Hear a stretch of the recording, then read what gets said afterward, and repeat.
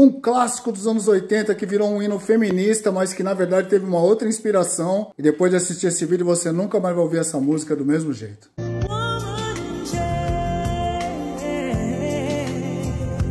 Pois é, em 1985, o Tears for Fears estava viajando pelos Estados Unidos, divulgando o álbum Songs from the Big Chair. E aí os cabeças da banda, né, o Roland Orzabal e o Kurt Smith, estavam jantando lá no restaurante e viram uma cantora incrível, maravilhosa, cantando.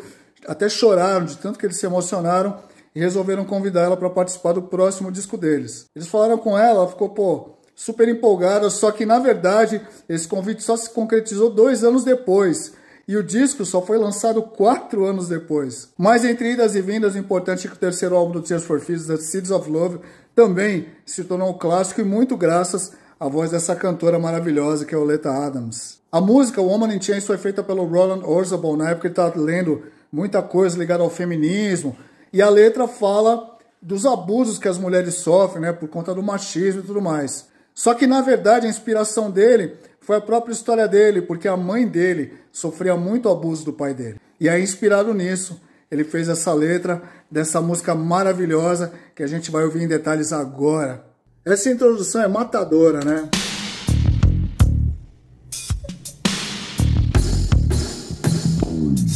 Aí a gente tem a bateria do Manu Katché, um baterista francês, tocou com várias pessoas aí, principalmente o Peter Gabriel.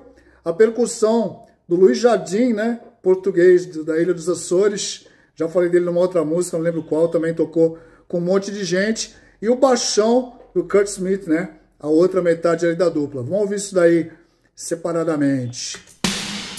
Manu Katché. Percussão do Luiz Jardim.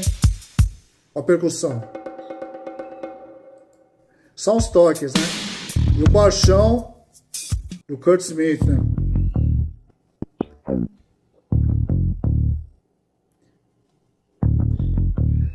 E antes de entrar os outros teclados, entra um fraseado de sintetizador bem na manha, e se ligam.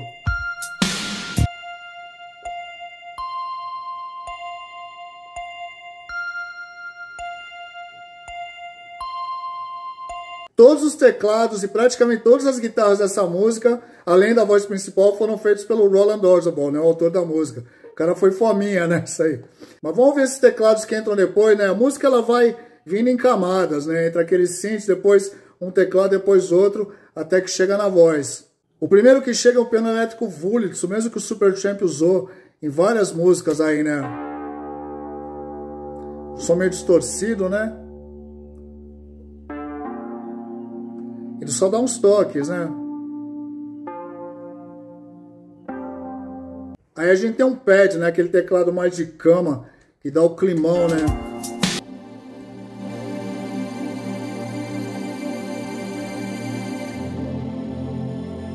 Parece que tá flutuando, né? Aí entra aquele sonzinho, ó. Meio de flauta, né? E aí, chegando em um minuto de introdução, né? Uma coisa que eu sempre falo que hoje em dia seria muito difícil você ter uma música com um minuto de introdução, né? Hoje em dia que as pessoas não têm paciência para 15 segundos. Você tem ali uma guitarrinha que meio que anuncia que a voz vai chegar. Se liga só.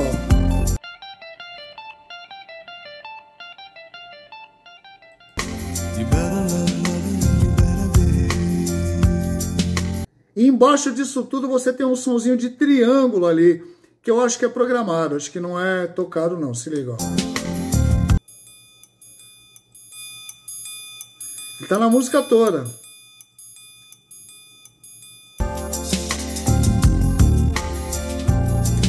No refrão, um outro sintetizador chega junto ali, só no refrão, para dar uma ênfase ali, né? Se liga, ó.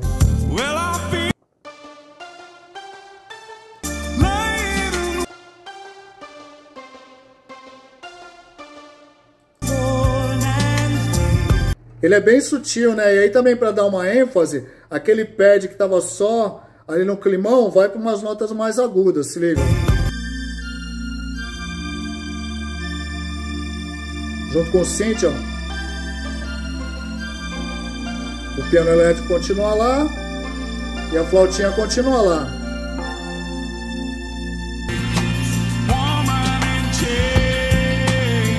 E aí aquela malandragem de produção que eu sempre falo nos meus vídeos, né? De você ir acrescentando instrumentos e camadas ao longo da música para o ouvinte sempre perceber inconscientemente que tem uma surpresa. A guitarra e o violão só entram no final desse refrão, no It's a world gone crazy. Eles só entram aí e vão até o fim, se ligam. O violão. Ele só entra aí, daí pra frente, né? E a guitarra. Essa guitarra é tocada pelo Neil Taylor. É a única que não é tocada pelo, pelo Roland Orzabal. Violão.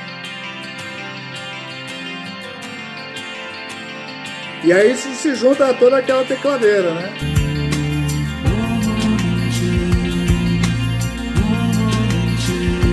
E aí naquela parte que ele canta Milestone, né? Pra dar uma ênfase, né? Nessa emoção, ele manda uma guitarra distorcida lá, se liga, ó.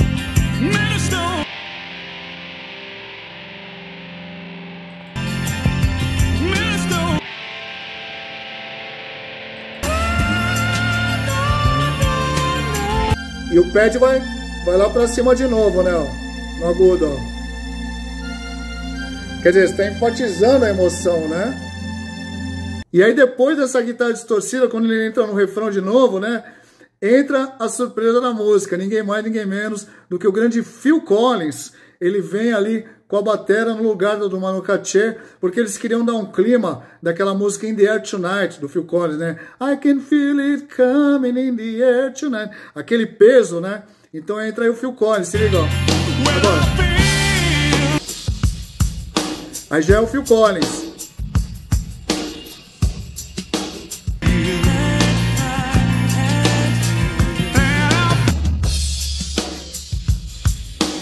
E vai daí até o final da música. E aí na parte C da música, aquela parte que dá a diferença, que eu sempre falo também nos vídeos, essa guitarra recolhe, né, ó. Só fica a outra guitarra base e o violão, né?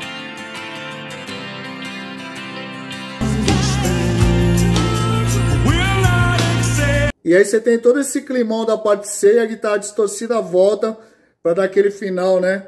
Quando sobe o tom, ó.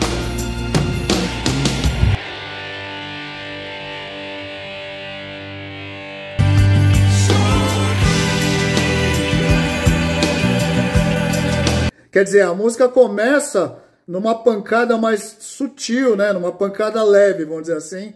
E ela vai crescendo até chegar nessa, nessa apoteose, né? Eu adoro música que, que vai nesse crescendo assim, eu acho maravilhoso. Vamos agora ouvir as vozes então, primeiro da maravilhosa Oleta Adams, depois do Roland Orzabal. Vamos lá.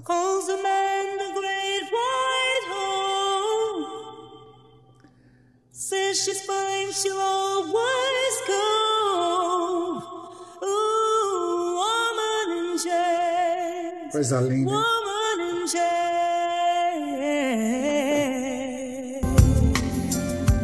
Agora é ele.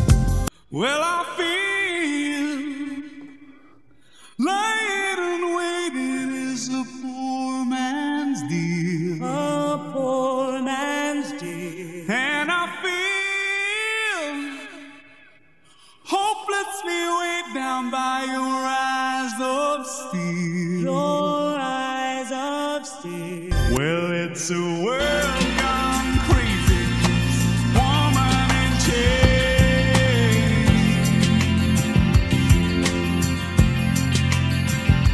E aí, o que, que você achou? Que coisa linda, né? Maravilhoso, incrível. Deixa aí sugestões de outras músicas para eu destrinchar e me siga para mais velhas novidades.